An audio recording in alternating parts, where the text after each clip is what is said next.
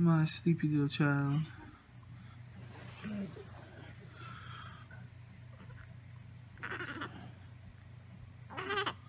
Oh goodness. Keep messing with him, I'm gonna wake him up.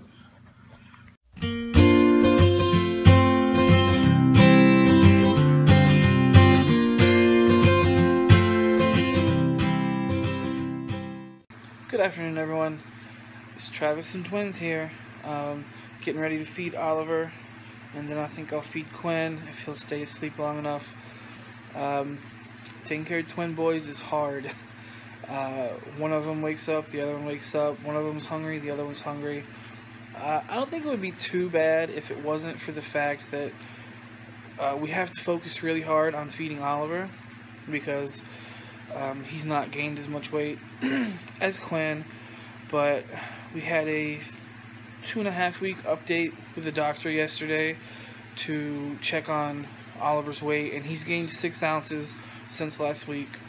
Um, so he's doing good. Quinn's doing really good. He's over eight pounds now. Um, we had a big setback with the formula. The doctor called and said we had to switch his formula from. Oh, it's okay, buddy. Daddy's gonna feed you in just a second. Mm, started talking and woke him up. Um, but we had a setback with the formula.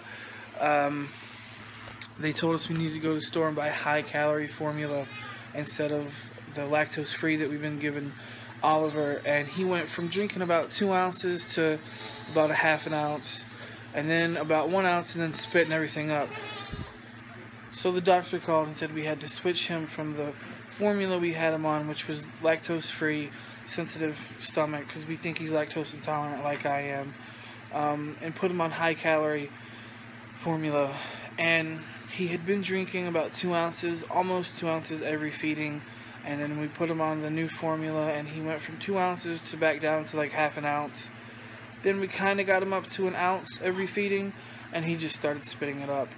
Um, even if we let him sit up for like 30, 40 minutes after he ate, he would still just spit it all up. So we went ahead and just put him back on the other formula, and the doctor gave us a recipe on how to make that formula higher calorie. So we're in the clear now, everything's good. Um, it was just, it was really hard couple of days having to deal with that because it was like we were making so much progress. He went from eating only half an ounce when we brought him home up to two ounces over like four or five days, and then switching that formula was just like a major setback. So uh, we weren't happy about that at all. Oliver's on sensitive formula. Quinn's on regular. I got it warming up in my favorite coffee mug there for Oliver. This is our little setup here in the living room. Have this little, I don't know, like um, breakfast in bed type tray thing. Um, got my computer here on the ottoman, and then this is where we change them for the most part. basket with stuff, some wipes back there. Um, been watching lots of YouTube videos on the TV, lots of Netflix. Um, just kind of been hanging out in here. We got them in their twin bassinet. It's a twin bassinet and pack and play combo. So they've been sleeping here for the most part. Um, we've put them in the crib in their room a few times, but for right now, we really kind of keep them in here. We're trying to transition them to sleep on their back for long periods of time because for a while Quinn's startle reflex see like he's moving around right now is is really bad and it was it was way worse before but if we let him sleep like sitting up with the boppy he he sleeps so much better and he'll sleep so much longer and then Quinn, no, Oliver, goodness, I, I do that a lot. Oliver, well, what's over? Oh, you're waking up. You want something to eat. I got you a bottle too, buddy. I'm gonna feed you both. But Oliver was spitting up. So, he sleeps on his back better now that we've got them just on the sensitive formula. But we're hoping within the next week or two to have them both in their in their room and in their cribs, um, which is right next to our room. So uh, I guess what the plan is is to keep them in their room from about the middle of the night till the middle of the afternoon. So we'd have them out here during the day in this bassinet with us, but then at, at night in the room next to our room. Um, spent a bunch of money on those cribs, so we better put them in there soon, I guess. So I'm gonna wake them up here in just a minute, get them a little food. Maybe I'll update a little bit more in a little while. Somebody doesn't want to take a nap. Hmm. Got the lights turned off in the living room because I was putting the boys down for a nap. Hmm. Oliver has fell asleep. But Quinn just doesn't want to go to sleep. So he's still not playing with Daddy. I think we're only a few weeks away from some smiles. Every once in a while he'll grin while he's asleep. And when I play with him, he kind of makes his face like he wants to smile, but he doesn't know how.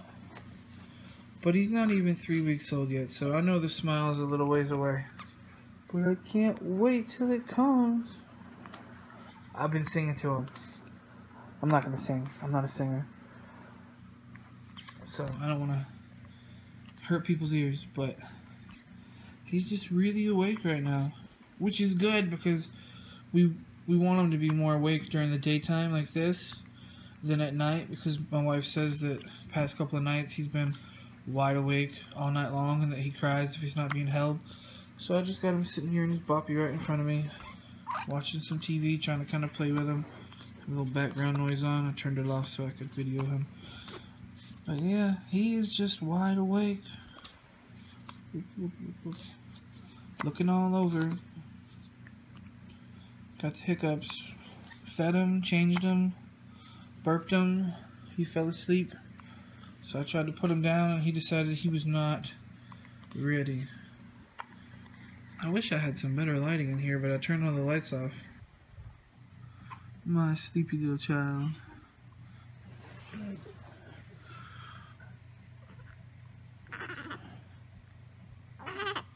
Oh goodness. Keep messing with him, I'm gonna wake him up. I am going to do some grocery shopping. Hopefully I will have time and I'll get my hair cut.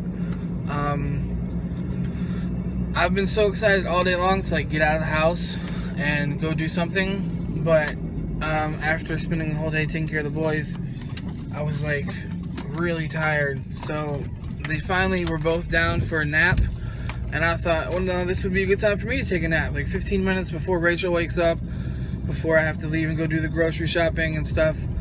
Um, and right in the middle of my nap, someone was beating on my door, man. The boys are right where I left them. Home with mama. I put away all the groceries. I bought tons of it. I bought this thing for the cat because she seems sad lately. So we got her some special cat food and a little brush thing. Mm. Finally, a full fridge. Hasn't been full in forever. And I am going to finish making my shepherd's pie. I started it earlier. Gonna finish it up here soon while I was at the grocery store, I ran into three people. First person I ran into was Rachel's ex from like six years ago. Second person I ran into was a nurse that I work with at one of the nursing homes I work at. And this third person was a resident I used to take care of, which was really nice because he asked me about the boys and wanted to stop and look at pictures and talk. So that was cool. I enjoyed that. While I was at Walmart, I looked for a Batman onesie because Batman um, versus Superman is coming out. And I thought it would be cool to buy them one because I have a little extra money I want to bet from Rachel. But I did not find them one. So, and this thing broke, so I had to tie it together. No Batman onesie now. Maybe later.